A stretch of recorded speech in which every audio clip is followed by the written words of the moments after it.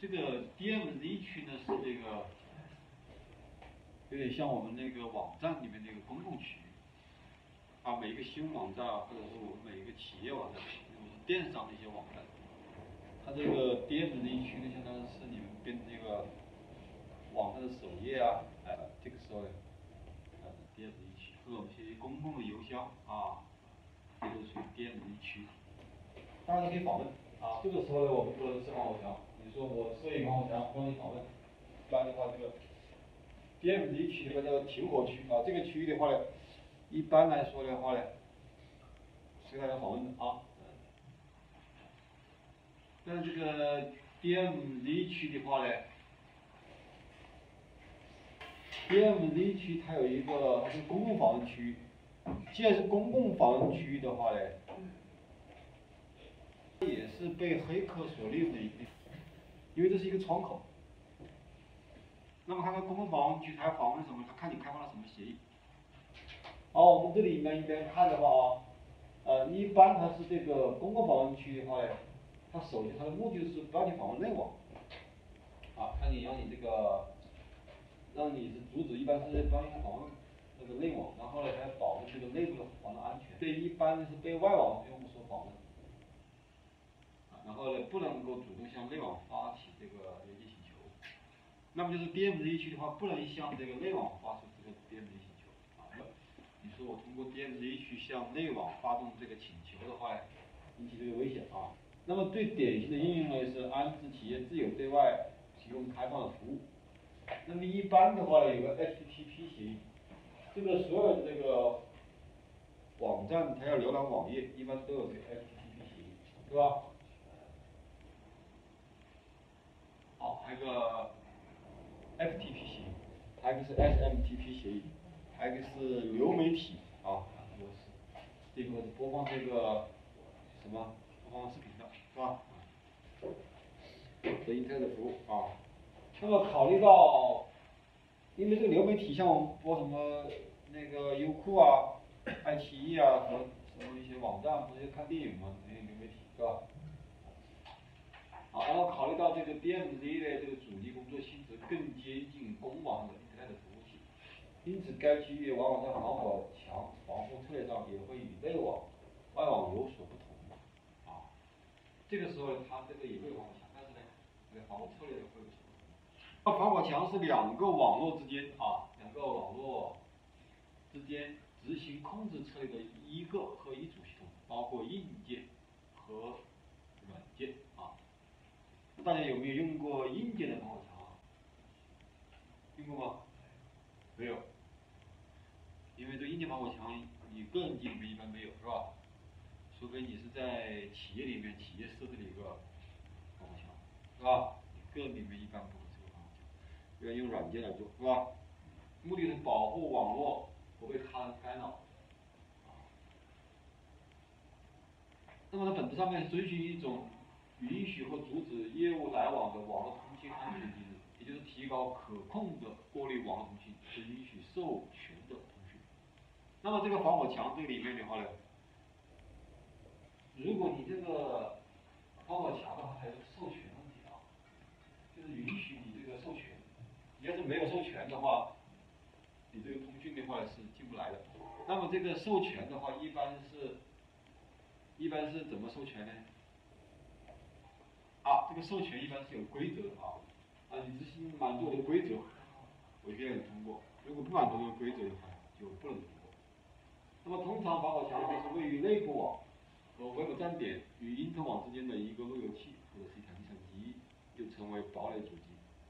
啊，其目的呢如同一个安全门，为门内的部门们提供安全，控制那些呢可被允许出入该保护啊环境的人物，就像工作在前。控制并检查站点的防者。好，那么这个防火墙啊，一个安全卫士样的，就是高级防护。那么我们对，我们就是说那个中国长城防火墙呢，就相当于是一个什么？是一个你这个访问这个国际网站出口的时候啊，它相当于一个安全卫士。那么很多网站的话呢，就不能够被防。好，那么防火墙呢？是由管理员为保护自己的网络免遭外界授权访问。这个防火墙呢，可以看到，看成是安装在两个网络中间的一个一个栅栏啊。根据安全计划和安全策略中定义及后面的网络由软件和硬件组成。所有进出网络通信的都应该通过防火墙，所有穿过防火墙的通信的都必须有安全策略和计划授权。理论上说呢，防火墙是穿不透啊，这是理论上说。那么从逻辑上讲，防火墙是分离器、限制器和分析器。那么从物理角度看的话，可了解到防火墙物理实现的方法有什么不同？啊，防火墙是一组硬件设备，路由器、主计算机或者是路由器计算机和配有适当软件的网络多种组合啊，这样一个过程。那么防火墙有四个阶段，一个基于路由器的一个防火墙。那么这个防火墙里面呢，它是有这个路由器的啊，路由器的，还是用户化的这个防火墙工具包啊，这些工具包。第三个是建立在通用操作系统上的防火墙。第四个是具有安全操作系统的防火墙。好，第一代防火墙特点，啊，利用路由器啊。对分组的解析，以访问控制表的方式实现对分组的过滤，它是这个访问控制表的方式啊。过滤判别的依据是地址、端口号、IP 地址其他的网络特征。那么过滤的话，一般都是用地址、端口号、IP 标识啊。只有分组过滤的功能呢，并且防火墙路由器是一体的，对于安全要求低的网络采用路由器在防火墙上安装啊。对安全性高的话，可以利用一半是一台路由器作为防火墙，啊。你们在设置路由器的时候，好像有一个什么，有一些设置是吧？ARP 啊，什么防欺骗是吧？那么第一代防火墙呢，有一些不足，就是一个是探寻内部网络的十分，外部网和内部网络十分容易啊，这个时候还不好。路由器的分组过滤的规则设置非常的安全隐患，攻击者可以假冒地址。由于信息在网上是以明文传送的啊，黑客可以在网上面伪造假的路由信息。那防火墙的规则设置呢，会大大降低路由器的性能，因为它设置多的话，看到很多规则，那么的路由功能就降低了，通信的这个吞吐量呢就降低了啊。好，第二代防火墙产品啊，具有以下。好，将过滤功能从路由器中独立出来，并加上审计和告。针对用户需求提供模块化的软件包啊，看，软件呢是通过网络发送，用户呢根据需要构造防火墙。这个防火墙呢，呃，可以通过这个软件来实现啊，可以通过软件来实现这个防火墙。啊，与第一代防火墙这个安全提高了，价格降低了啊。那么不止之处呢，配置和维护过程复杂。费时，对用户的技术要求高啊，全软件实现安全性和处理速度均有局限。实践表明，使用中出现差错情况很多啊。用这个全软件来实现这种防火墙，既然是软件的话，它这个就会有一定的机警啊。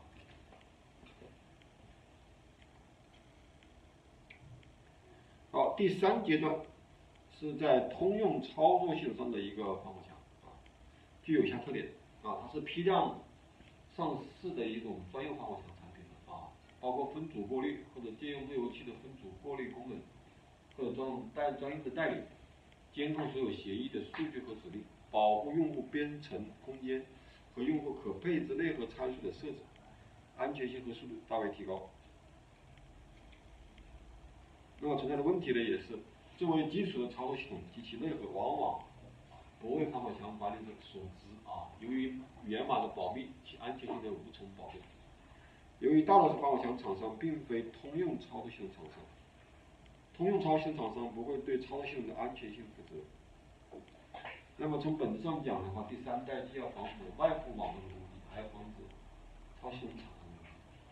啊，因为他自己不是操作系统厂商啊，所以他这个做好以后呢，这个防火墙有时候，有时候还要防外网的，还要防内部。开放自操系统的啊一个工艺，那么用户必须要两方面的这个支持，一个是防火墙的厂商，一个是操作系统厂商。好，那么第四个阶段就是具有安全操作系统的防火墙啊。这防火墙的话呢，具有超强的源代码，并可实现安全内核啊。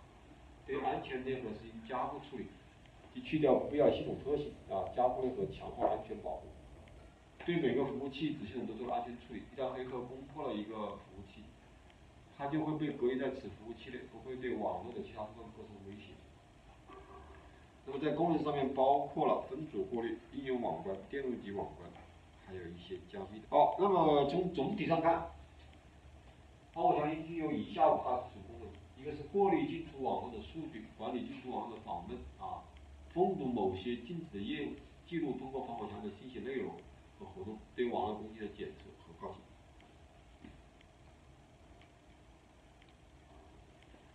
好，那么这就是一个局域网啊。这个局域网的话，就是这边这边就是一个正常用户，正常用户通过 Internet 进行访问这个访问啊，还有黑客呢也进行这个访问。这里面有一个 DOS 攻击，啊，这里有个 DOS 攻击。好，那么它这里面采用的就是一什么？就是包过滤啊，应用层状态检测这两个、生产攻击防止的，还有地址召唤。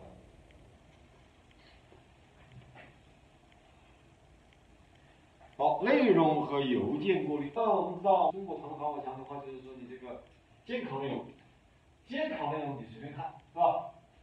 有害内容，中国长城防火墙干什么？它要防止有害内容。你要是一些什么有害信息，要是传递过来的话，就会被拦截掉，是吧？还有一些很多一些不好的一些网站，可能会充斥一些不好的一些，啊，包主要是在政治方面的一些信息东西啊，要把它屏蔽掉。这是啊，有害信息啊，有害信息通过外网、国际网站过来。那么这种邮内容和邮件过滤的话呢，啊，内容和邮件过滤啊，一个是正常网站，正常网站是通过这个 Internet 网过来的吧？有害网站也通过 Internet 网。进入中国的时候就有一个什么中国长城防火墙拦住，拦截了是吧？啊，那么这是健康内容是吧？进来了，进来了是吧？你如果你没有这个防火墙的话呢，这也进来是吧？包括邮件也是，你进来以后一个邮件检测的一个服务器啊，一个服务器。安全过程中的日志管理与审计啊。哦，这是一天的网，email 邮件通知，也可以什么拒绝服务，它可以服务到这什么防火墙啊，还有攻击。